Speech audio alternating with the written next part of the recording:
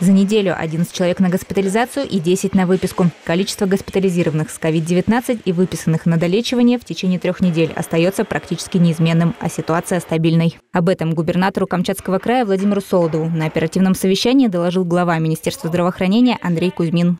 На данный момент в Камчатском крае развернуты 270 коек и около 40% коечного фонда находится в резерве. Мы знаем динамику. У нас, к сожалению, как правило, повторяется общероссийская динамика с запозданием 2-3 недели.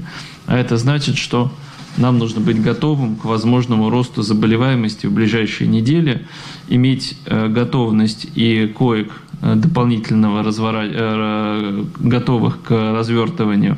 И план этот у нас должен быть всегда, что называется, в режиме готовности.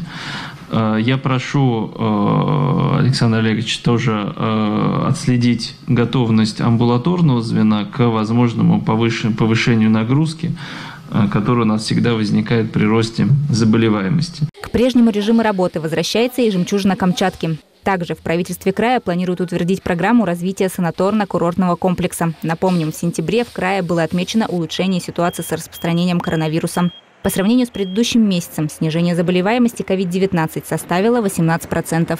Информационное агентство «Камчатка».